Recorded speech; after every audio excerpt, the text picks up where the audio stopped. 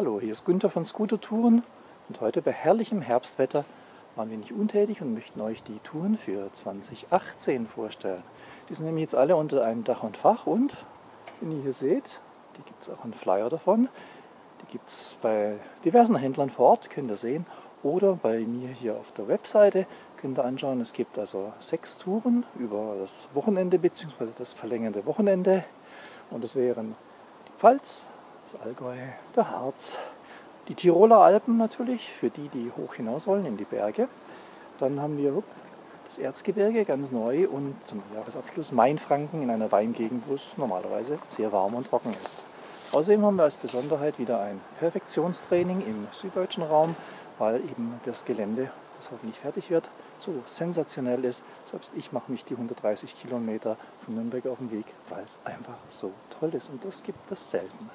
Also, vielleicht sehen wir uns 2018 wieder, würde mich freuen. Bis dahin, tschüss, tschüss, euer Günther.